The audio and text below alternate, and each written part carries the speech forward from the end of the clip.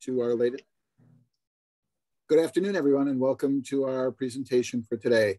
We're lucky for today at the kickoff of Heart Month to have with us uh, our friend and colleague, Dr. Rob Ostfeld, Professor of Medicine and Director of Preventive Cardiology here at the Montefiore Health System. I think when you look at Rob's um, clinical and research output, you find really a seamless transition between a passion for research investigation and a day-to-day practice.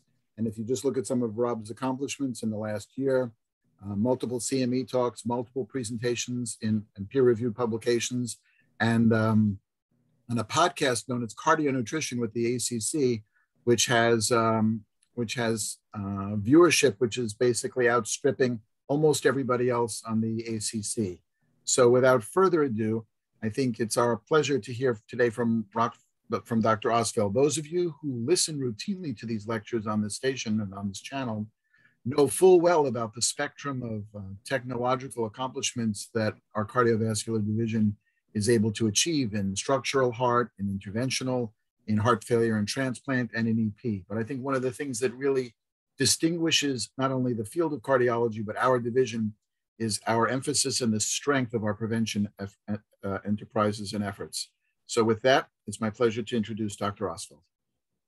Well, Dr. Vorchheimer, thank you so much for that incredibly um, generous introduction. And I echo the sentiment about our uh, division. It is really a wonderful team. And it's fun to sometimes see the recommendations. Like I'll read a note and sometimes the surgeons will recommend cabbage, and, and I'll also recommend cabbage. So it's really, it's pretty seamless between everybody. Um, and so it's a real honor to be here today. Uh, thank you, Millie. Uh, plant-based diet and cardiovascular health is what we'll talk about. And we, of course, have a cardiac wellness program here with the goal of preventing disease with a plant-based diet. And it's got, uh, and oh, hopefully I'll have a chance to talk about this a little bit toward the end, an educational arm, a research arm, and uh, a clinical arm. And you know, I, probably my experience is very similar to uh, many of yours, where you know, through med school, residency, fellowship, all that, I had a chance to learn from wonderful people and all kinds of great stuff, procedures, pathophysiology, medications, but really had very limited exposure to nutrition. At least that was my experience. And I kind of knew when I was done that eating a Mediterranean style diet was healthful, but I couldn't quite define it. And that was pretty much about it. And when I came to uh, Montefiore many, many years ago, um, I would encourage people to have a Mediterranean style diet and use procedures and medications, and people would get better and we see wonderful things happen. But sometimes it seemed like the disease, underlying disease process of cardiovascular disease would continue to march forward, which is a common theme throughout the Western world, unfortunately. And so I was kind of getting a little disillusioned. And then I learned about the impact of a plant based diet and, you know, I've been a cardiologist now for, gosh, I don't know, 18 or so years. And outside of a medical emergency, like somebody gets shot and has to be put back together again, I've never seen anything come close to the breadth and depth of benefits that a plant based diet provides. Um, and in our program, like there are literally patients crying tears of joy. They feel so much better. Like nobody cries tears of joy, and I write them a prescription for atorvastatin. Um, but uh, so I hope they'll get a chance to talk a little bit more about our program. And uh, this will just uh, a brief talk. Uh, and of course, as you know, cardiovascular disease, heart, heart attack, stroke is exquisitely common. I have to update the slide with the new AHA guideline or, or numbers that just came out, but it's not tremendously different, unfortunately. And about two heart attacks happen every minute in the US. I'm sure all of your CCUs, cardiology floors are bustling with heart attack patients, unfortunately. Um, it is cardiovascular disease is the number one killer of adult men and adult women in the US, a title no one wants. Um, and women are about six to seven times more likely to die from cardiovascular disease than they are from breast cancer.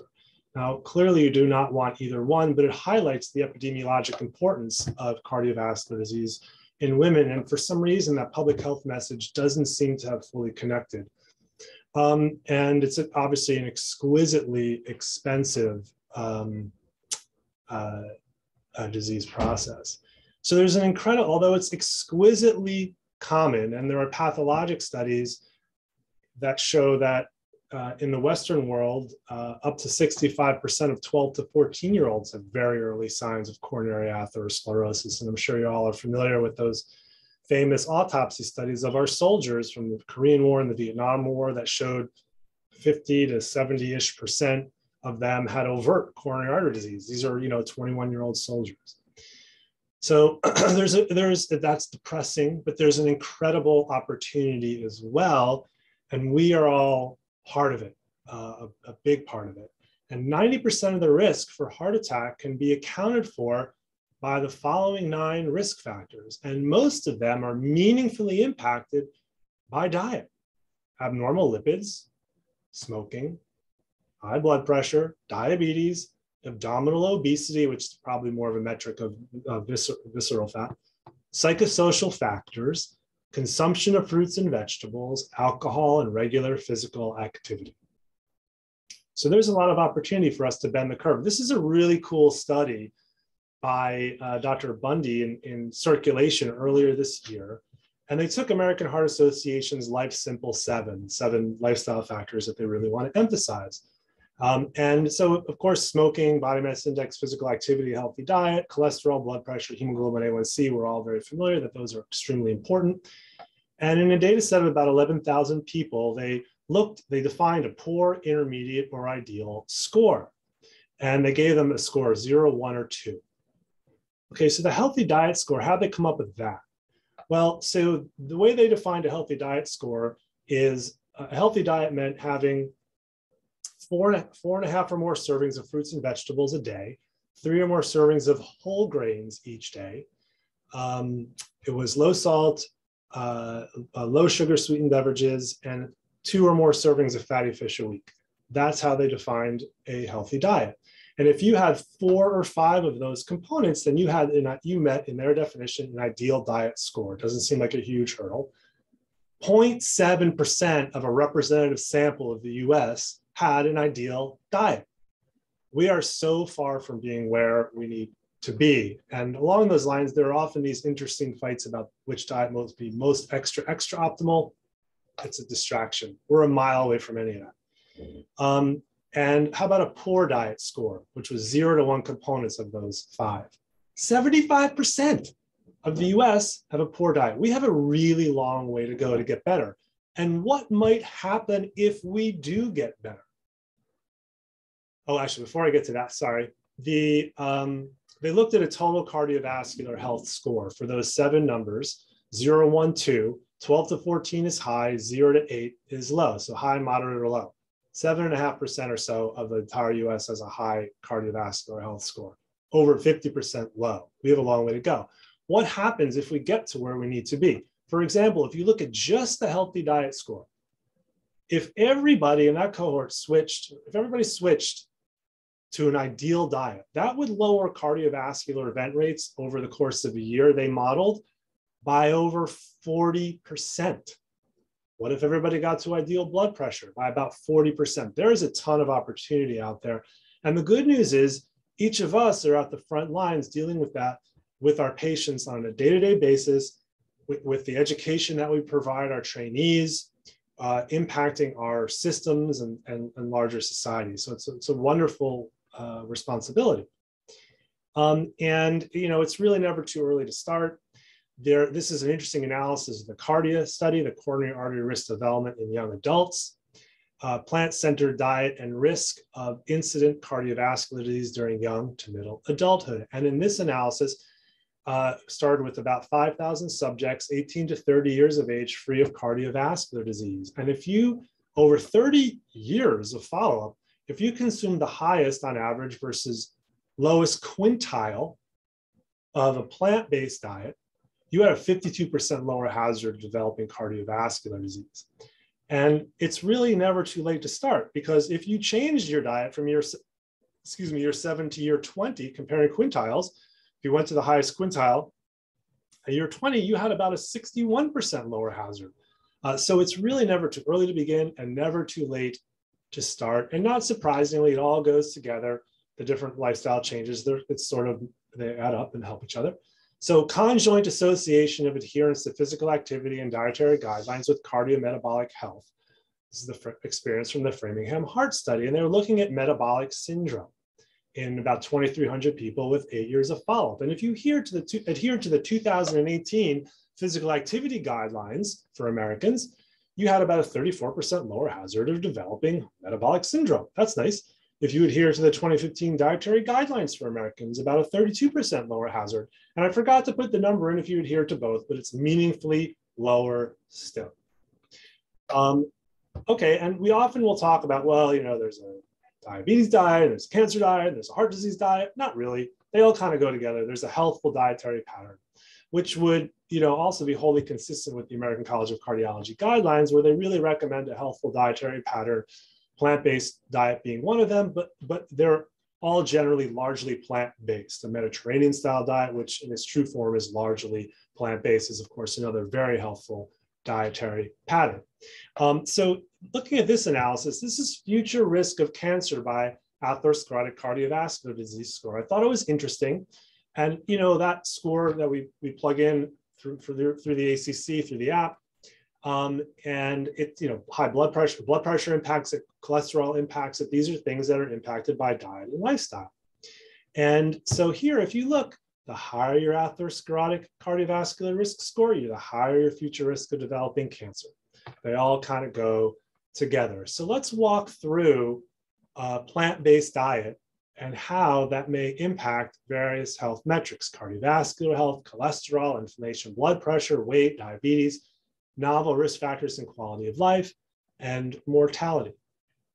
So how am I defining a plant-based diet? I'm really talking about minimally processed plant-based foods. And of course, we don't need to have perfection be the enemy of good. Someone wants to go 60% of the way there, have at it. It's better than 10% of the way there. And so I'm talking about tons of vegetables, fruits, whole grains, beans, lentils, tofu, yams, nuts, and seeds. Um, getting rid of the junk food. And actually, interesting along the lines of junk food, there's a very interesting analysis in JACC by Juul this year that looked at the Framingham cohort, about three or so thousand people in the Framingham cohort. And the average person in the Framingham cohort ate seven and a half servings of ultra processed foods each day. That's like a bag of chips, a sugar soda, seven and a half a day. Like we have a long way to go. And not surprisingly, the more ultra processed foods you ate, the worse you do. Okay, so of course the devil's in the details. We're talking smartly or minimally processed plant-based foods. And uh, so, and they, but to put some teeth around that, there's a wonderful analysis by Satija published in JACC in 2017 uh, using the uh, Nurses Health Study 1, Study 2, and Physicians Health Study uh, cohorts. And they said, okay, well, if you eat a plant-based diet, more and more of a plant-based diet, is that helpful? Well, the more of a plant-based diet you ate, it was helpful for coronary heart disease. But there's got to be a difference between cookies and kale, right? I mean, so that's what kind of what they ask. So here they ask is what happens if you eat a healthy plant-based diet or an unhealthy plant-based diet? The kale, the cookies. Well, if you ate a healthy plant-based diet, you did even better. But if you ate an unhealthy plant-based diet, you did worse. And if you look over here, this is the healthy plant-based diet. The more you ate, the better you did. This is the hatched line here is an unhealthy plant-based diet, but this red line, that's an animal-based diet. So an unhealthy plant-based diet numerically was even worse than an animal-based diet here. And accordingly, uh, there's a meta-analysis uh, published in Lancet by Reynolds in 2019 looking at whole grain consumption and consuming more whole grains was associated with less, less diabetes, yes, less diabetes, less cancer, less uh, cardiovascular disease, emphasizing the importance of uh, smartly or minimally processed foods. So this is a wonderful analysis by Dr. Du out of the New England Journal of Medicine published in 2016. And what, uh, with a cohort of like 500, 450,000 people with 3.2 million years of follow-up. And they asked, if you eat more fresh fruit, is it good? Is it not good? Well, in this analysis, it turns out it's good. The more fresh fruit you eat, the less cardiovascular disease, the less coronary events, the less stroke, less hemorrhagic stroke. Um, so impressive. And let's have, and furthermore, in regard to stroke, the quality of a plant-based diet, meaning the devil's in the details, and risk of total ischemic and hemorrhagic stroke.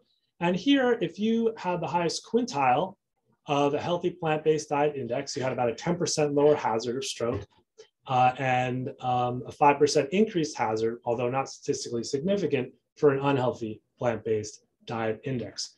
Erectile uh, dysfunction is also, of course, largely a manifestation of cardiovascular disease. Vasculogenic erectile dysfunction is the most common form. Clearly, it could be for other non-vascular reasons as well. But we call often erectile dysfunction the, cor- uh, the canary in the coal mine for coronary artery disease or cardiovascular disease because it typically occurs about two to three years before angina sets in and three to five years before cardiovascular events set in. And there are clear randomized uh, controlled trials looking at a Mediterranean style diet, looking at exercise, comparing it to a more Western style diet and lifestyle, where uh, doing those things, Mediterranean style diet, exercise, weight loss, can improve, significantly improve erectile function. And it's exquisitely common looking at these numbers here, uh, but I suspect it's even more common um, because people just don't want to talk about it. And impact of a plant-based diet, we talked a little bit about its impact on cardiovascular health, heart disease, stroke, erectile function. Let's touch a little bit on cholesterol, inflammation, and blood pressure. So this is a direct comparison of a dietary portfolio of cholesterol-lowering foods with a statin in hypercholesterolemic patients. And it's by Dr. Jenkins. He does wonderful work in this arena. And a dietary portfolio is basically a high fiber plant-based diet. And they randomized just 34 people to a control diet. Always good to have a control because you can see LDL fell a little bit there. But in the statin arm, which I believe was uh, lovastatin, 20 milligrams, they lowered their LDL about 33%. And you can see with the portfolio diet, very, very similar to the low dose of the statin. It's impressive. And it's, of course, not either or, it's all of the above to help somebody.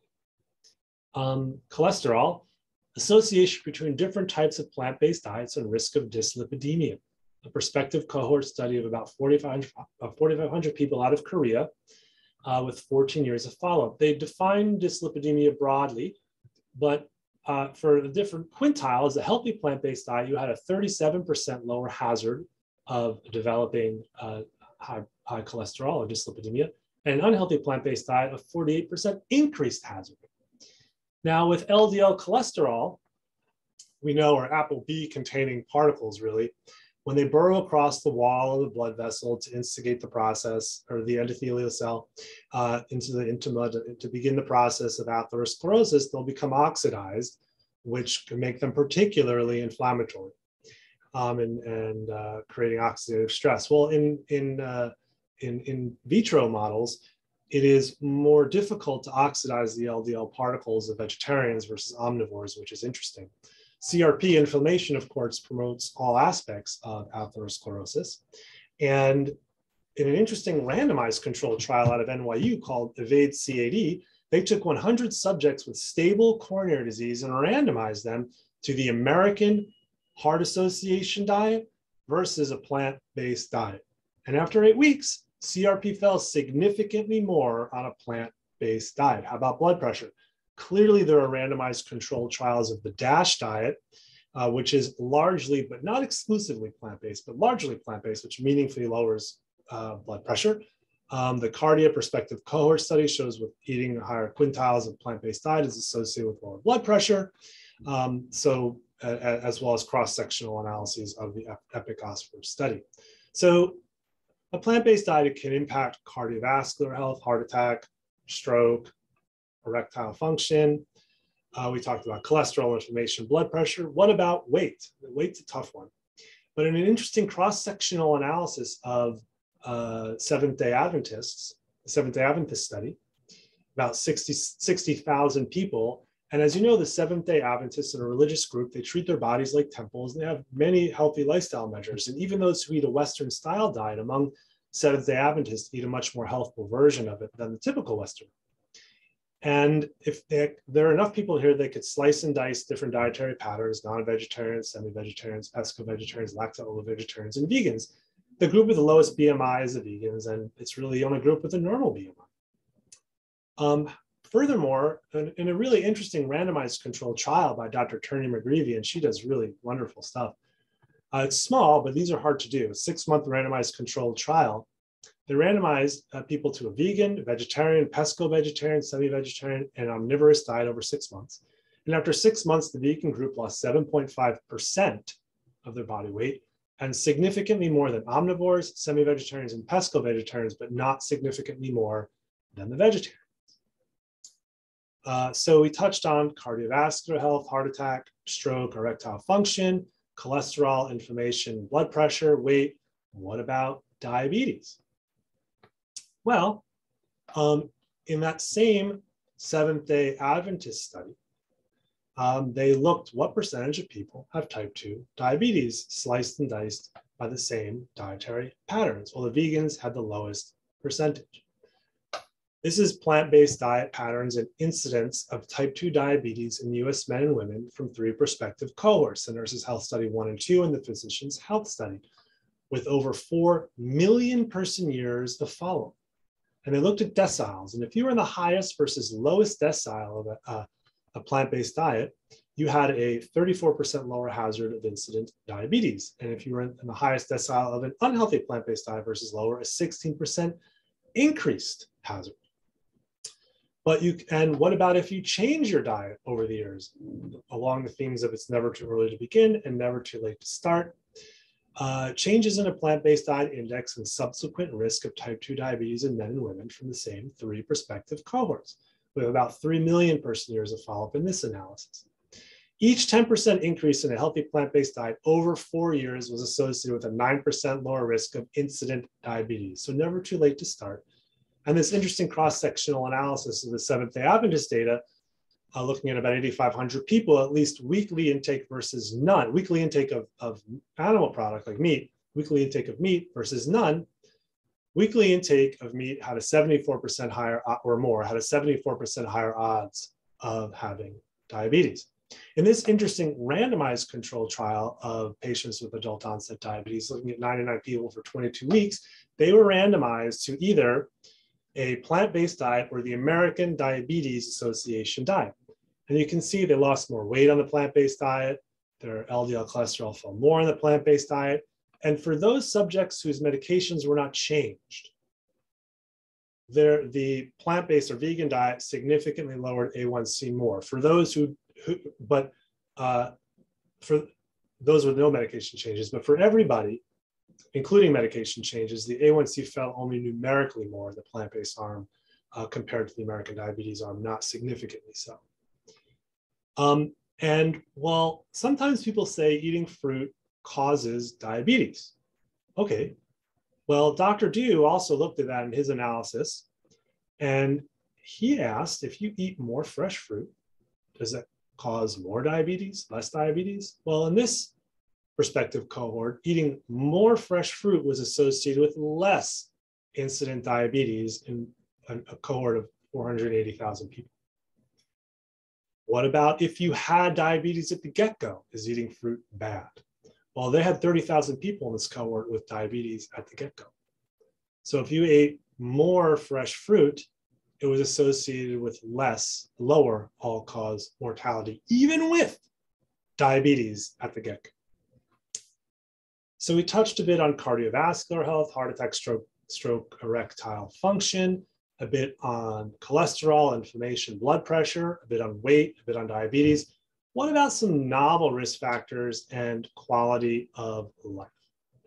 Well, some novel risk factors, uh, how about genes? Well, we all have our genes make our hair color, hair color, eye color, eye color. We can't change them. I guess I have to change that now because of CRISPR. So I guess we could change them a little bit. For the most part, we can't change our genes.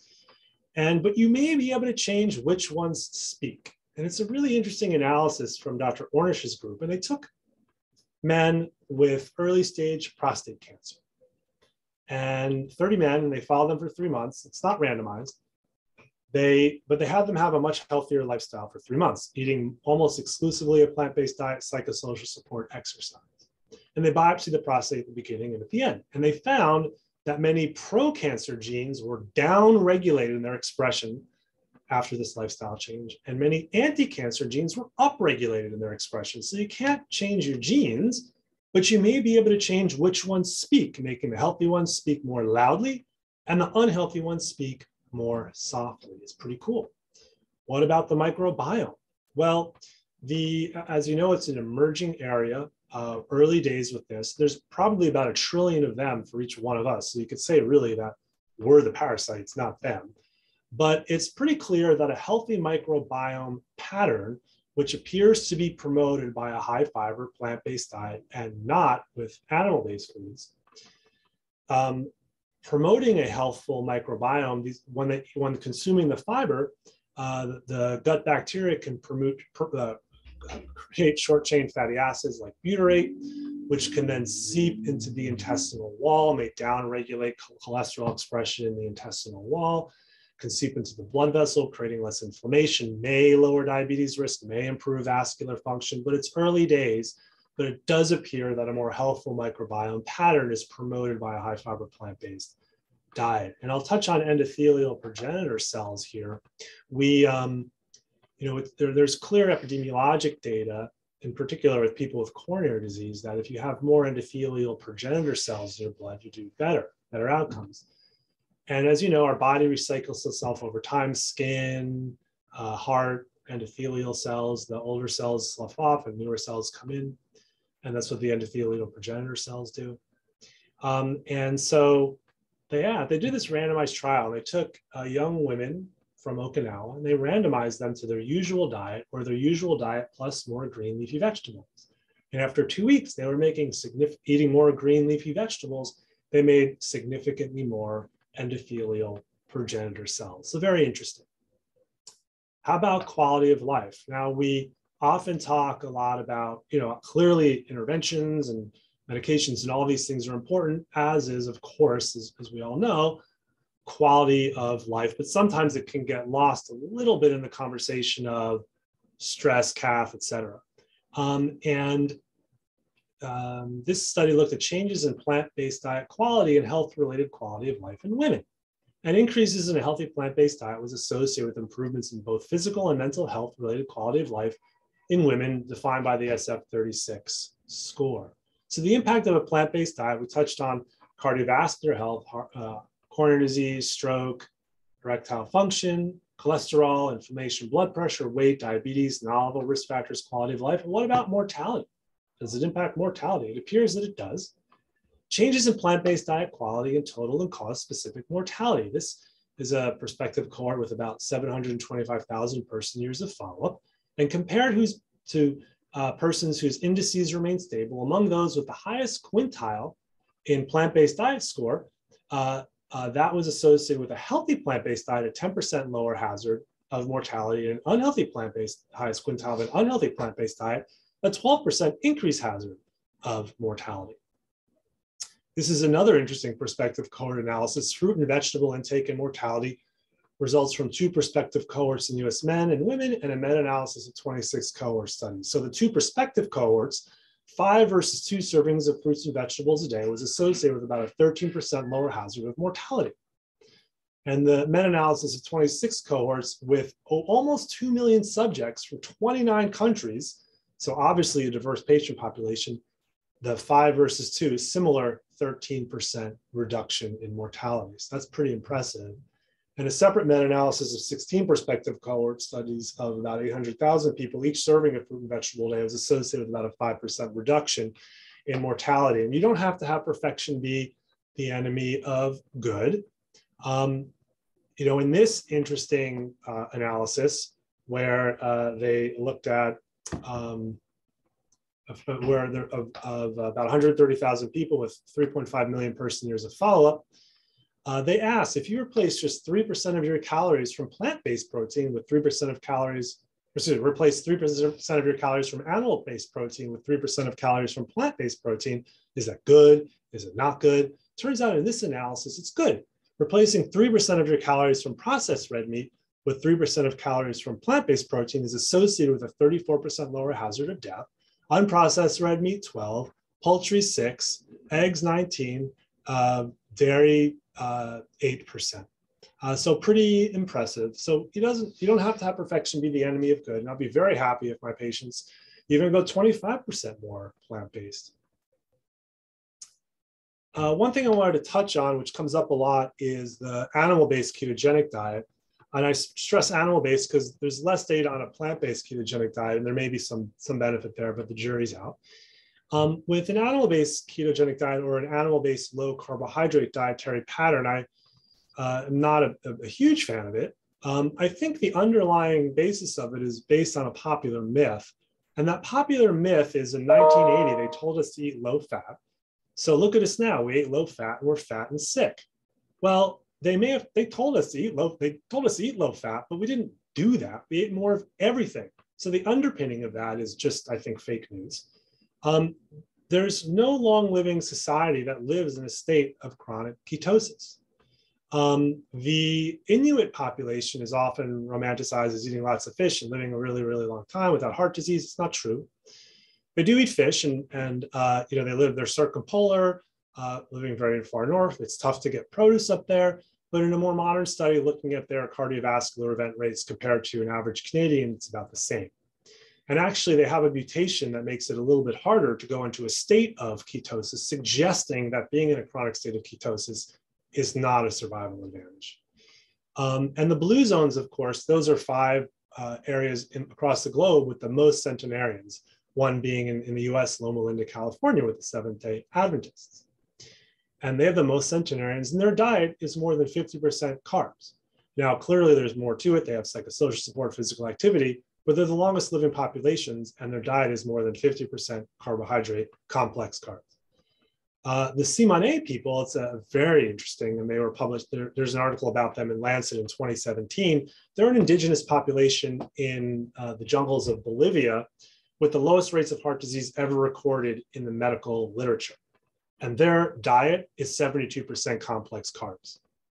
Lowest rates of coronary disease ever recorded in the medical literature, 72% carbs. Uh, and it's 14% animal protein, 14% fat. And the animal protein they're eating, they're literally catching wild monkeys. Now, obviously, it's multifactorial. They, they are physically active. And interestingly, they have high levels of, or higher levels of inflammation because oftentimes they'll be barefoot and they'll have uh, some parasitic infections in their feet. Um, and if you look at this small, interesting uh, randomized trial by Dr. Kevin Hall out of the NIH, a feeding wars study, they randomized people to an animal-based keto diet versus a low-fat plant-based diet for two weeks, just 20 people, two weeks. And one of the big things about the, the uh, low carb or ketogenic diet is that there's something they say something about being in a state of ketosis that reduces appetite. Okay, so this was an ad lib feeding study. And they found, at least for these two weeks, that for the entire two weeks, ad lib eating, whatever you wanted, however, however much you wanted, people uh, on the low fat dietary, the plant based low fat, ate fewer calories than did the ketogenic diet. If you look at some of their secondary endpoints, LDL cholesterol fell significantly more in the plant based low fat arm, triglycerides was higher than in the plant based arm, glucose about the same, and CRP fell significantly more in the plant based arm. And a variety of epidemiologic studies also support having an animal-based low-carb dietary pattern may not be helpful, including this one from Dr. Lee, published in Circulation in 2014, where post-MI patients consuming more of an animal-based low-carb diet actually had worse outcomes. And of course, when you're eating that way, you're leaving out some of the healthiest foods around, whole grains, which of course that Reynolds meta-analysis in, in Lancet with 135 million person years of follow-up suggests that more whole grains is helpful by a variety of health metrics. Pulses, beans, and lentils are associated with living longer. Fruits associated with living longer. If you look at different nutrients by dietary pattern, plant-based versus Mediterranean versus an animal-based low-carb pattern, uh, and the plant-based is equal parts tomato, spinach, lima bean, peas, and potatoes. Mediterranean is 40% uh, of the plant-based food and half a piece of skinless chicken, one teaspoon of olive oil, and one cup of 1% milk. The low carb is equal parts beef, pork, chicken, and whole milk. In terms of cholesterol, your body makes all you need. You don't need to eat any. How about protein? Plant-based, low carb. Oh my God, my muscles are going to fall apart tomorrow.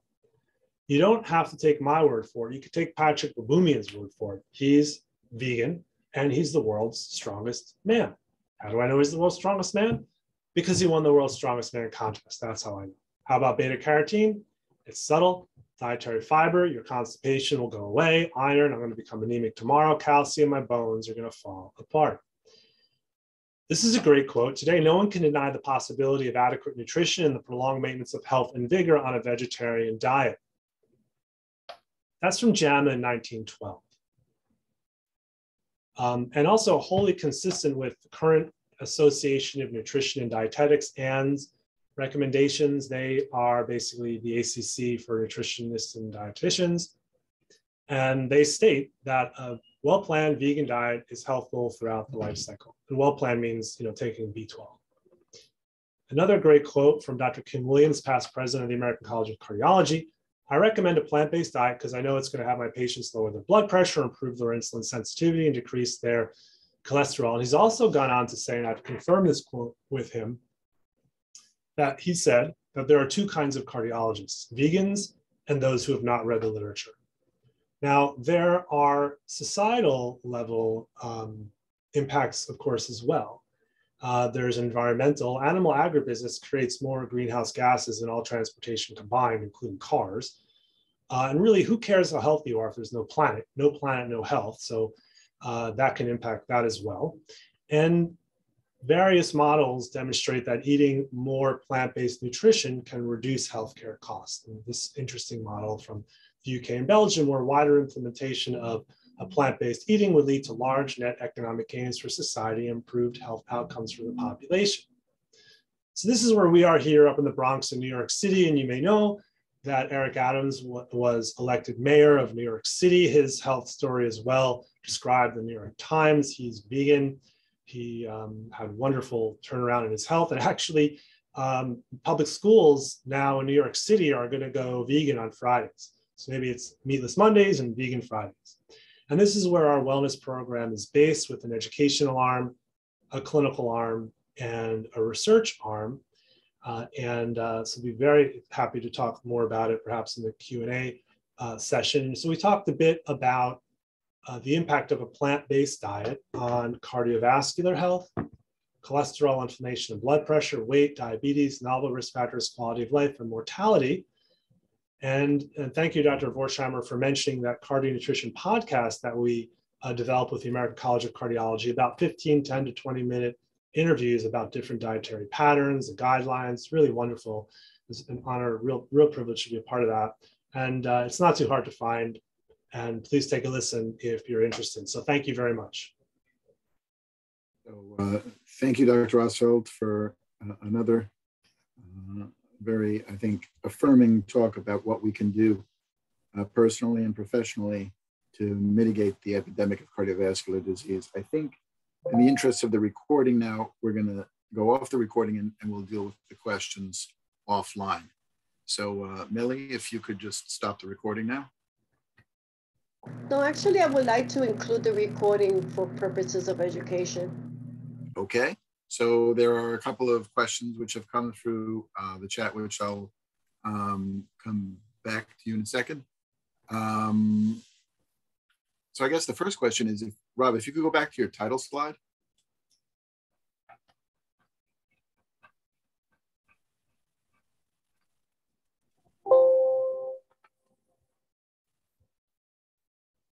Why do you have a question mark?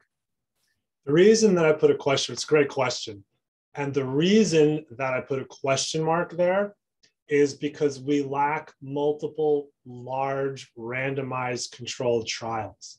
There are multiple small randomized control. There's a legion of evidence from uh, test tube data to translational data to multiple diverse epidemiologic data to small randomized controlled trials, but we lack we, we don't have a PREDIMED study for plant-based nutrition. So always important to not get ahead, fully ahead of the data, but I think the data unequivocally supports a plant-based diet, as would the American College of Cardiology guidelines. So to that end, just to, you know, something that our patients, I think, say often, which is, you know, you cited the famous study, the small study, I guess, but the well-known study, which looked at the comparison of statins versus um, diet, a more aggressive plant-based diet in a fairly small uh, cohort of people. And I think the statin that you mentioned was lovastatin. which Yeah. was essentially a lot of what um, when Ornish was doing the, the trials that he had, which were evidence based. But I think you know the question would be in the modern world if you repeated this study with you know rosuvastatin, with Zetia, with a PCSK9, putting aside the pleiotropic benefits of a uh, plant-based diet that you alluded to, cancer, oncogenes, diabetes, all the other things that are part of the benefit of a plant-based diet. From a purely cardiovascular question, you know, patients say, you know, what's the big deal if my LDL is is 50 this way or 50 that way? What's the difference? It's a good question. Uh, we don't we don't have that data. I can extrapolate. Um, there from if you look at the Courage trial, stable coronary disease, optimal medical therapy. It's a little bit of an older trial now, but they got LDLs to about the low 70s. Okay, their cardiovascular event rate was about 19% over four and a half years. If I compare that, now it's apples and oranges here. Dr. Esselstyn published a case series of 200 subjects who went plant based. Um, some of them indeed had statins. They also, but they all were plant based. And I think the follow up was about three and a half years. They, they're, they, they, conc- and their LDL also got into the 70s on average. They concluded that their event rate was 0.6%. Now, let's say, because it's a case series, not as rigorous as Courage, let's say they're off by a factor of 10. Okay, so then it's a 6% event rate compared to 19 with similar LDL levels. So, you know, it appears that from a cardiovascular event rate, if you, you know, this is apples and oranges and an extrapolation, but there are benefits from a cardiovascular perspective beyond LDL that can give you uh, a lower event rate. Great. Um, I've heard you, you know, answer the fellows this question. Uh, there's a question from Dr. Mark Menegas. Uh, great talk, Rob. Thank you. What constitutes, quote, an unhealthy plant-based diet? It's yeah. I mean, uh, I know. Great question. Now, I mean, so you know, sugar cookies, uh, indeed, highly, you know, chips are plant-based, highly processed foods. There's lots of, there are plenty of uh, vegan snacks, cakes. Uh, they're not helpful. And, and one that comes up a lot are those replacement burgers. I don't want to mention any brands, but you know, there's the replacement burgers are certainly great from, you know, an ethical perspective, if that matters to someone, from an environmental perspective. Um, but I don't consider them a health food. There was an interesting study called Swap Meat out of Stanford where they randomized people to like an animal-based burger versus a plant-based burger, one of the more common brands that you would know, and cholesterol fell a little bit more on the plant-based burger. But those I don't consider a health food. I consider them either a gateway drug to eating more healthfully, or, and I don't think any physician in the plant-based movement would consider them a health food. So a gateway drug to eating more healthfully or a treat.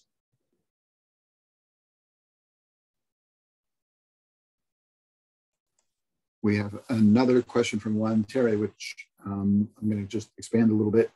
Great talk, Rob. Um, obviously, I would say 10, 15 years ago, we had a number of trials mechanistically looking at the way uh, statins impact um, the vascular tree, and particularly at either regression or plaque stabilization. Um, what is the data for CAD regression or stabilization with a plant um, plant-based diet? Yeah, it's a great question and an area of a lot of debate. Um, and I want to, since some of the faculty are I'm going to want to mention something else. Just you remind me at the end, real quick. In terms of regression, there's a lot of debate about that. Now, it's technically defined as 10% or more shrinkage in a blockage. Um, and uh, Dr. Ornish did his randomized trial. And although they did, and, and in his randomized trial, people with stable coronary disease, they significantly lowered angina. Uh, they had overall improved outcomes. And they had something like this is coronary angiography. This is many, many years ago, a one or 2% regression in the lesion. Um, so some people will say that counts as regression. Many people think it does not because it's not 10%. Uh, so it's wonderful, the improved outcomes and the improved symptoms, but it is, uh, uh, you know, I, I, don't think that constitutes regression, maybe stabilization. And of course, as you know, with more modern studies with better imaging, like the yellow studies um, or evaporate, uh, which uh, Dr. Slipchik was just talking with me about the other day, uh, particularly in yellow, where they did OCT, opt op optical coherence tomography, where you can really look at the plaque. And they had people on high dose statin over, I think it's three months, and the plaque itself became a healthier plaque, a less, what we think is a healthier plaque, a less, uh, the fibrous cap would get bigger, less, less uh, lipid in the plaque. So we don't know. So we don't know if, and I'm not, I'm not aware of statin uh, trials showing more than a 10% regression. So certainly plaque stability, certainly reduced outcomes. We're using them appropriately like water. And if someone knows that the more than a 10% regression, please let me know. I'm just not aware of that. Uh, but we don't have that kind of granular imaging data with a plant-based diet. And people are talking about doing exactly that kind of thing. And so I think, you know, so that that actually, that awareness, as you correctly, I think, pointed out, you know, dates back to Lance Gould's trial in the mid, you know, I guess 1990s, looking at the 1% regret and even the, the, the CAS trial um, with nominal changes in lumen diameter correlating with enormous reductions in cardiovascular events. But I think, you know, to sort of flesh out Juan's question a little bit further, um, in, in, in the modern era, I think the, the imaging studies have taught us that what statins really do is they don't achieve regression, they change the composition of plaques. You know, certainly we showed that at Sinai 20 years ago with MRIs of the, of the aorta, this carotid data. Is there any data along those lines with changes in plaque or plaque stabilization without changes in the diameter um, which, as you point out, are not really what we should be looking for any further. I'm not aware of plaque imaging data with a plant-based diet.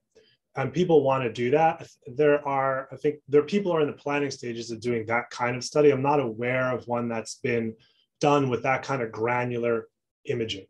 Um, and it stands to reason, of course, you know, if you think, first of all, if you just think of a, a blockage like a static thing, which obviously it's not, you know, uh, blood flow is related to the fourth power of the radius. So a teeny bit of regression is a lot more flow if you think about it statically. And of course, it's not static. You know, the endothelial cells, if they get healthier, eating more healthful foods can make more nitric oxide, dilate up a little bit more. And there are a variety of brachial reactivity studies that show that if you eat a healthy meal, your um, brachial reactivity, the blood vessels can dilate up more in the arm and an unhealthy meal, they don't dilate up more, but it lasts about six hours. You know, so there's reason to believe that if you ate more healthfully, it would have a similar kind of impact on the coronary arteries, but that's speculation. Question here from Carlos Rodriguez, great presentation. Um, and can you basically, to sort of paraphrase the question, can you speak at all about the literature regarding plant-based diet impact in other cardiovascular conditions such as congestive heart failure, um, atrial fibrillation, and it says patients with existing CHD, although I think you covered that. So let's yeah. focus on heart failure and atrial fibrillation. Well, heart failure, I'm not a, there is a little bit of data, Dr. Lara out of in JACC a few years ago out of the regards database published that uh, if consuming a plant, there was like a a southern dietary pattern, a plant-based dietary pattern, and a couple of other dietary patterns. And basically, the more of a plant-based dietary pattern you ate was associated with less incident heart failure admissions. There is also a, and it stands to reason, improving endothelial function, lowering blood pressure, lowering cholesterol, the, the risk, less obesity, the risk factors for heart failure would, would theoretically improve There's also a similar large prospective cohort study that found a similar thing, which I will try to, which actually I texted to Dr. Lara uh, the other day, and I can't remember the study exactly. Uh, um, yeah, it was the DASH diet. Um, I'm pulling it up on my computer. Uh, the DASH diet is associated with a lower risk of, of heart failure, a prospective cohort study published in the European Journal of Preventive Cardiology just this January. Uh, so I don't, I apologize, I don't remember more of the details about it, uh, but they had about 41,000 people in that cohort. So there's epidemiologic data to support it, and the same kind of underpinning pathophysiologic data would go along with that. I have a couple of cases, I mean, these are cases, and we published one as a case report, uh, heart failure uh, and a plant-based diet case report and literature review in the uh, front frontiers in nutrition, where you know someone went plant-based and their EF went from like I don't know 25 to 55, um, but it's just one case, so hard to know what to do with that. Um, and of course, if it's lowering cardiovascular event rates, then cardiomyopathy of coronary disease would, would happen less. So that's it with heart failure.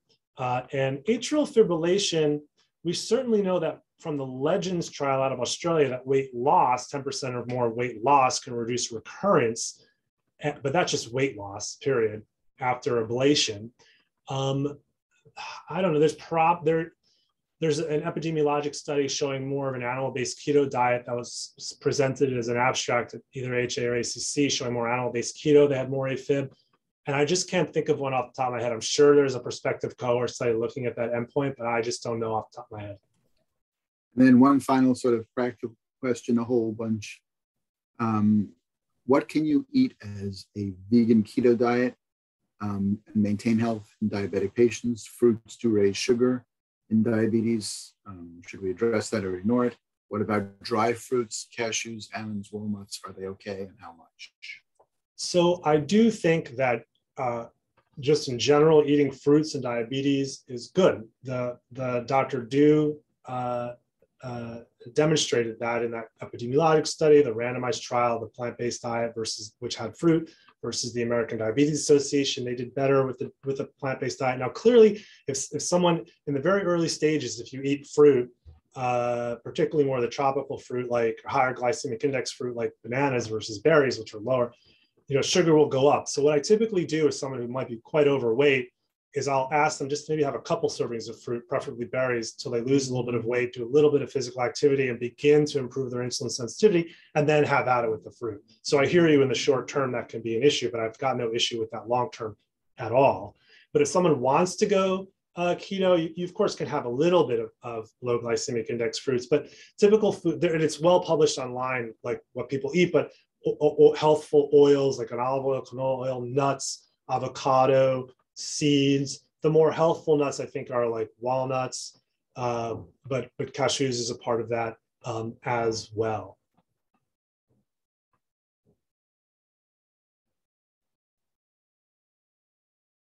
I don't see any further new questions in the comments of the chat. So once again, um, I want to thank Dr. Ostfeld for an inspiring presentation, and I think a, a really great way to kick off our uh, Heart Month here at Montefiore. So thanks to everybody. Have a good afternoon. Thank you so much. There's one thing I wanted to add just for any faculty still on the line. As you know, in our the consult notes for the fellows, we have a line that says, does the patient consume uh, four to five servings of fruits and vegetables a day? Yes, no deferred. It's right above the assessment and plan, so it has good real estate. We have it there so the fellows think about it, but hopefully the patients hear about it and anyone reading the note thinks about it. So encouraging the fellows to ask about that. It's wholly consistent with the HAACC guidelines. Thank you.